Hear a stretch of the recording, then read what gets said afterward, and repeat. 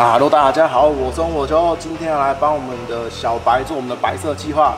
那这次要做什么呢？就是要把这个松垮垮的土厨改成这种坚固的土厨啊，当然也是要自己做出来啦。啊，那为什么我会想要自己做土厨，而不去用网络上买呢？那主要是因为我真的找不到这个的土厨支架要去哪里买啊？可能因为野狼太久了，要么停产，要么就走进站的，我一直找不到。而且就算找到的话，一个要六七百，我觉得有点贵啊。所以说我打算自己来做。那我做想到一个最简单的方法，就是用类似束带那种方式把它扣起来就可以了，像是我这个做法。那我刚刚去测试了一下，其实也蛮稳固的，它应该是可以用这种方式去固定啊。因为我之前用这个水管固定啊，它就一直滑下来，你看它一直滑下来，然后滑到最后它就会整个掉下来，很危险。所以我才打算这次直接给它做一个超坚固的铝铝金属的。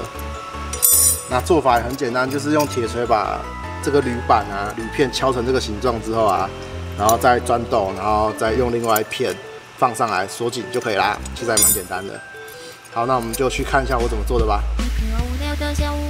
着不见春的歌，看着不见春的漫画，都是不见春的梗。吃着不见春的零食，喝着不见春的茶，过着不见春的生活，当个不见春的人。听着不见春的音乐，想着不见春的字，读着不见春的小说，却是不见春的人。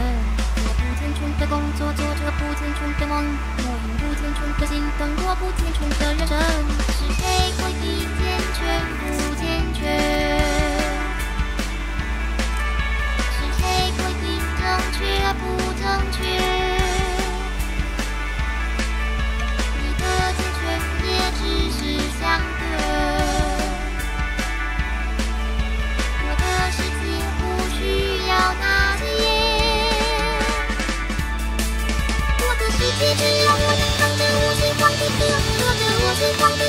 我是我喜欢的人。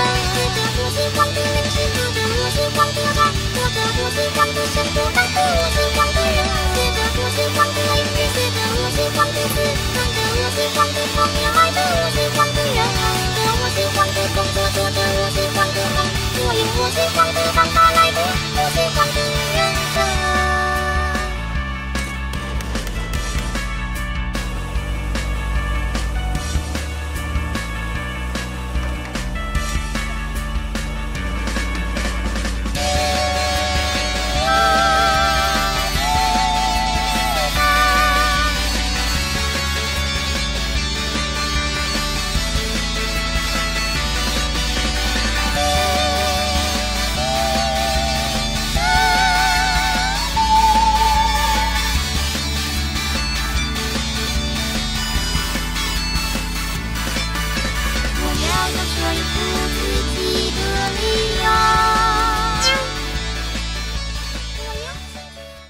OK，我们花了很多时间，终于把它做好啦。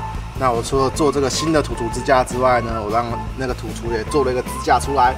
那最后发现这个轮胎太宽了啦，这个轮胎是，那这轮胎是一百的轮胎，那追风土厨只能塞到九十的胎，所以它会磨到，所以没办法，还是只能固定在这么高的地方啊。那以后可能也有机会的话，可能会换那种小轮径的土厨吧，像是进站之类的。那现在目前这个状况，我是觉得还不错啦，有种很浓的机械感。那两边都固定的很稳固啦，跟之前完全是没有办法比的，超稳固的。好，那这个土厨支架就做好啦。那总共花了我大概两个多小时吧，我做东西的时间越来越快了，太棒了，太棒了。好，那我们就继续下一个吧。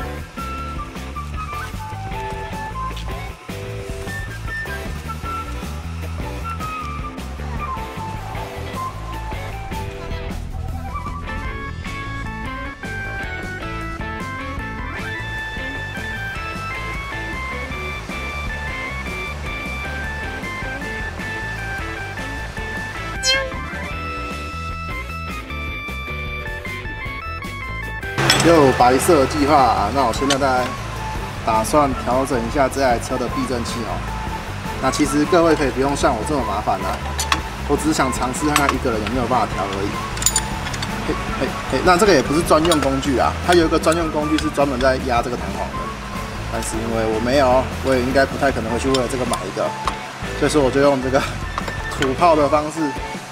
两根铁，然后把这个弹簧压压压进去，看看。那其实这个也不用那么麻烦啊。各位如果有朋友的话，像我就没有，你可以直接请朋友帮你压着就好了。其实也不用说要用这么这种东西来压了。好，我再想一下有什么办法可以调整它哦。然后我最后用一个很奇妙的方法，就是把这个扣着，然后用力往上翻，然后就可以调了。呵呵，好神奇的方法。那我记得这两个避震器原本是调一样的啦，可能是有时候窟窿太大，然后跳掉了吧，我也不知道啦。总之我就把它调回最硬的那一段了，两边都调最硬的，这样应该还不错吧。好，那这一次就到这边。好的，我刚刚去试了一下我们的避震器。我们的避震器的部分呢，我觉得嗯好像有好一点啊。可是我觉得这种那么软的避震器，其实骑起来没有太大的差别啦。避震器调的比较平均之后，也是做动有比较好一点点啦，大概吧，可能也是心理作用啊。毕竟这种避震器有没有调，它都很软，软到爆炸。好啦，那避震器这样就算是调好了，应该是有比较好吧？应该吧。大家好，我是火球。今天的白色计划我也忘记剪到哪里了，或者是拍到哪里了。总之这次要来做我们的这个电门座。那我要把这个东西是用束带固定的嘛，我不要用束带了，我要直接做一个板子出来，然后来固定这个电门啊。好，那我们就开始吧。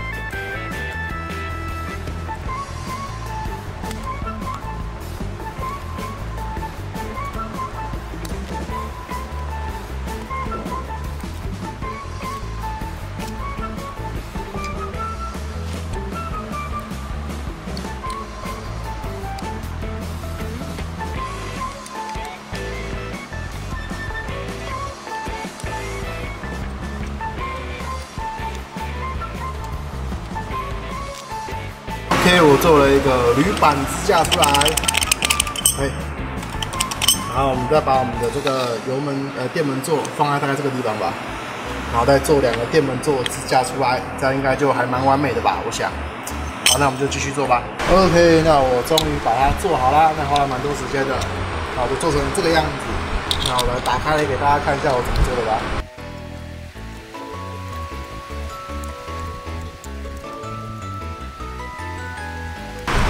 就是其实就是这个样子而已啊。这个是原本那个铁片，我中间就挖了一个凹槽。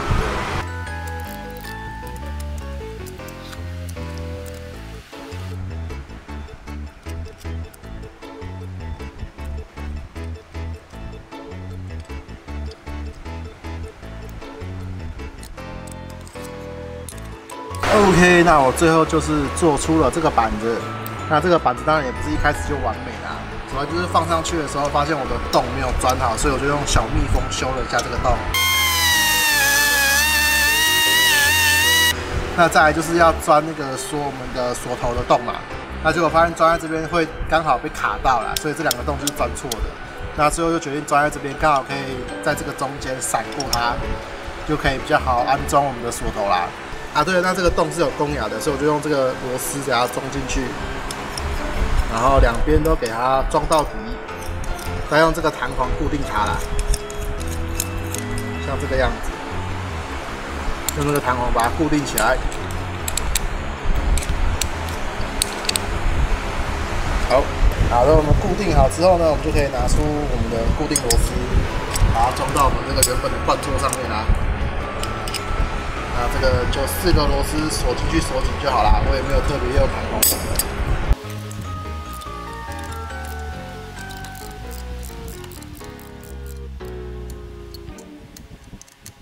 OK，那再来就是我用垫片把这个东西垫高一点，要不然的话这样子我们的锁头会卡到这个螺丝，所以我把它垫高一点。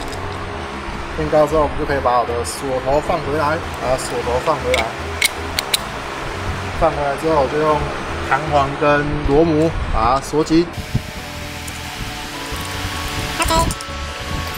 好，那这样我的锁头的固定座就这样完成啦。那大概花了我快两个小时做吧。还蛮久的，其实因为我可以更快的说。啊，好，那这样就完成了。好，我们最终成品就长这个样子，哎，还不错吧？那其实说起来很简单，做起来的时候就一直磨这个角度，一直磨不出来。那还有这个边边角角的地方啊，还要打磨，打磨之后才会滑顺，要不然你摸到的时候会有被刺到的感觉。好，这次也花了蛮多时间，但是我觉得成品还算。差强人意啊，有种浓浓的机械感，对不对？每次东西做完都是浓浓的机械感。好，那我们就继续做下一个东西吧。OK，那我刚刚都没有拍画面哦。那这一次主要就是换了我们的化油器啊。那这一颗是 P 系列，就是所谓的王化。那它可能有点小问题啊，导致冷车的时候不管怎么骑都有问题就对了。不管怎么调冷车都会有问题。那我再卡它清洁看看，以后有空再把它装回去试看看是怎么样啊。那总是为了求稳定，所以我就先装了原厂化油器上去。那这个原厂化油器是我之前收的一个坏掉的，那我把它修理好之后就拿来用。那它其实还是坏掉了，像风阻门就不会动。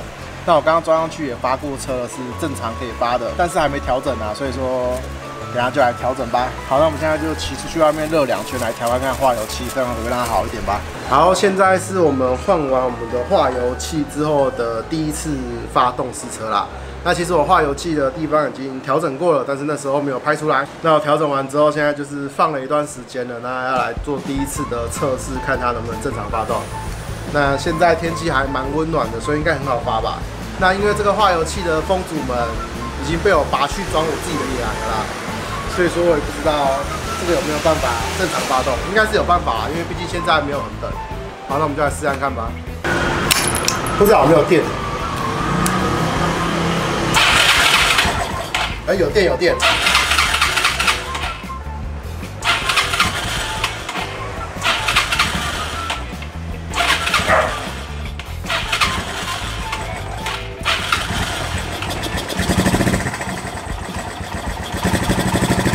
转点油门才带得起来。发动之后就要走一千转。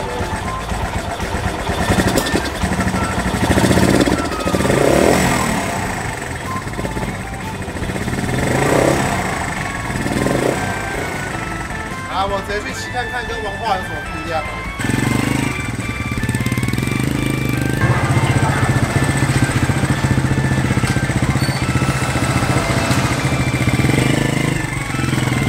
OK，那我这样调整完之后呢，基本上就是呃轮车发动就可以马上起了啦，算是一个还不错的感觉吧。那至于为什么没有办法，呃，至于为什么它发起来会起火呢？我想大概是因为有段时间没发，所以它的汽油有点跑掉了，再加上它的拔蜡跟排气管都太顺了，导致它有时候汽油没有办法留在气缸里面。嗯，我这样解释应该是对的吧？好，那总之这次换回原厂化油器，这台车的稳定性就提升的非常非常的多啦。那这次的白色计划也就到这边结束啦。那这就是我最近这几天放假的时候去工厂把事情做一做，然后拍出来的影片给大家看啦。